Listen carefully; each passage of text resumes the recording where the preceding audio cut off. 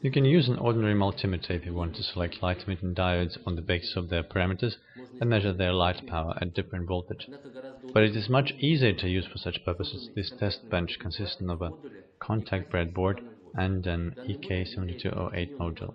This module is combined in one unit with a mechanism consisting of an ampermeter and a voltage meter with a common bus network. We also need a power supply ranging from 6 to 24 volts and light emitting diode battery. When the test bench is ready and the power circuit has the resistance of 10 kΩ, you will be able to evaluate the characteristics of light emitting diodes and choose those with similar parameters. Moreover, you'll be able to measure the current and voltage of the light emitting diodes and other semiconductors.